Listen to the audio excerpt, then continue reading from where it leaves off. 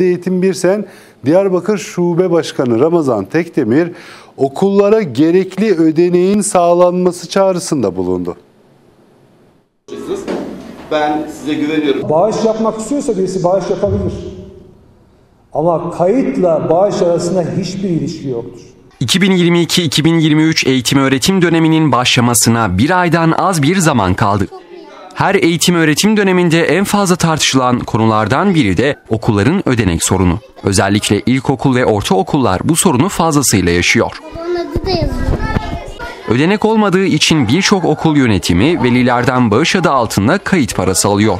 Geçtiğimiz günlerde Milli Eğitim Bakanı da konu hakkında yeni bir açıklama yapmıştı. Bağış yapmak istiyorsa birisi bağış yapabilir.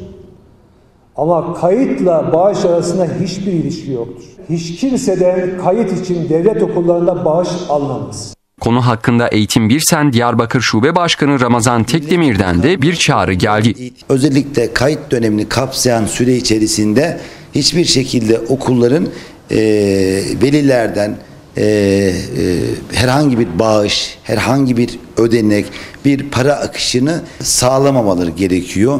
E, bu konuda velileri e, okula destek vermeye zorlamamaları gerekiyor. Eğitim Birsen Diyarbakır Şube Başkanı Ramazan Tekdemir, okullara gerekli ödeneğin sağlanması gerektiğini ifade etti. Ee, Burada e, okulların bütçeleri planlanırken mutlaka okuldaki öğrenci sayısı, okulun fiziki kapasitesi, okulun büyüklüğü ve okulun e, etkinlik e, alanları e, dikkate alınarak bir miktar belirlemesi e, ne gitmesi lazım.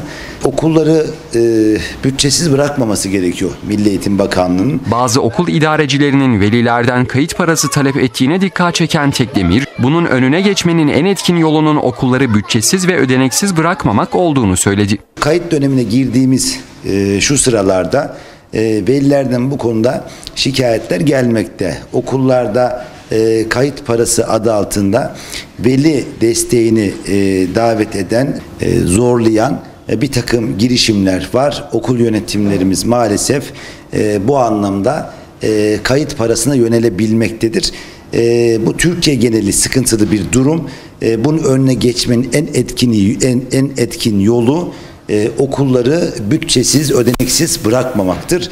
Ve kesinlikle Milli Eğitim Bakanlığı şu kayıt döneminde e, istenen bağışların önünü kesmelidir.